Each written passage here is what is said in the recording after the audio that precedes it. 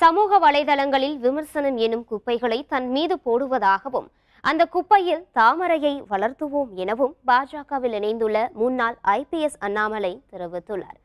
கரூர் மாவட்டத்தை சேர்ந்த அண்ணாமலை ஐபிஎஸ் தேர்வாகி கர்நாடக மாநிலத்தில் கர்நாடக சிங்கம் என்ற பட்டம் பெயருடன் பணியாற்றி வந்தார். பின்னர் தற்சார்பு பொருளாதாரத்தில் ஈடுபட போவதாக கூறி பதவியை ராஜினாமா செய்த அண்ணாமலை விவசாய பணிகளில் தன்னை ஈடுபடுத்திக் கொண்டார். இவர் ஆடு மேய்க்கும் புகைப்படங்கள் சமூக வலைதளங்களில் வைரலானதால் ஒரே நாளில் உலக புகழ் பெற்றார்.